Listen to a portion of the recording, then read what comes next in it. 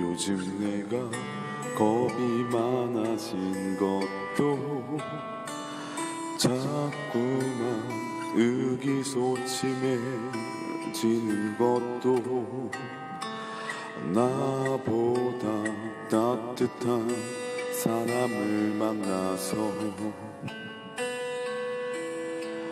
기대는 법을 알기 때문이야 또 말이 많아진 것도 그러다 금세 우울해지는 것도 나보다 행복한 사람을 만나서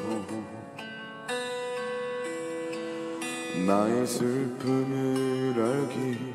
때문이야 마음이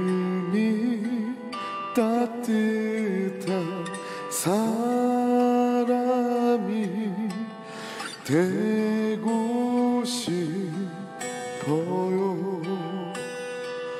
나의 품이 포근하게 위로가 될 수 있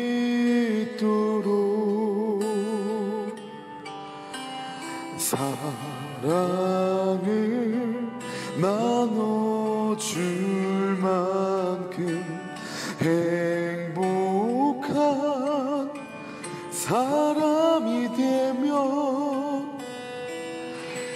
그대에게 제일 먼저 자랑할 거야